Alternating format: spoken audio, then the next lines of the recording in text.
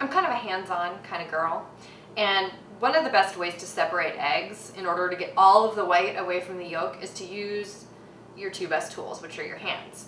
Um, the most important thing starting that though is to wash them first. So soap yourself up, wash your hands really well. And when I separate eggs, I like to use the three bowl method.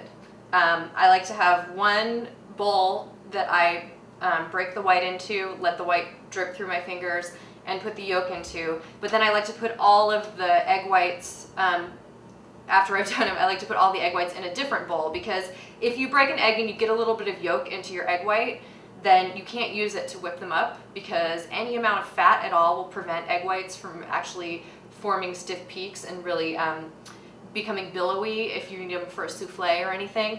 And so if you contaminate one egg white, you can set it to the side. But if you have like 10 egg whites you've separated in here and then you get a little yolk in, you've ruined the whole batch. So three bowls, clean hands. Let's get started. In order to get the most out of your eggs, just let them slide right into your hand. And look, this one, perfect example.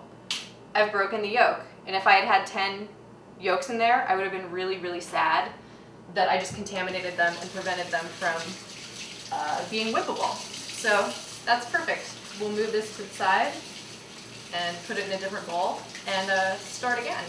And you're also going to want to wash this bowl because now that there's yolk in it, you don't want it to contaminate the egg whites. So wash it really thoroughly. Okay, I've got a clean bowl. Let's try this again. See if I can actually crack an egg properly this time.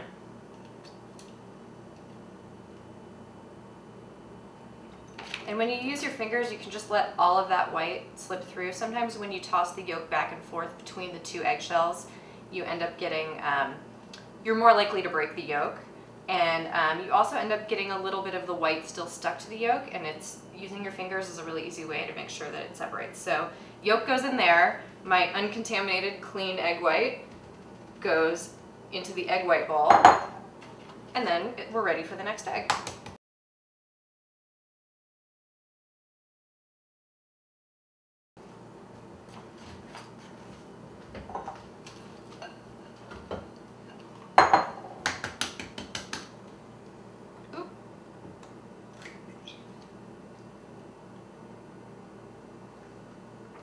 And then the eggshells can go straight to the compost bin. Be sure to crush them up first.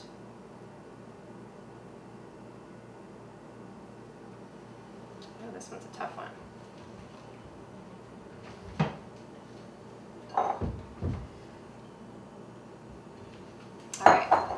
Four egg whites, four egg yolks, neither of them contaminated. We're ready to rock.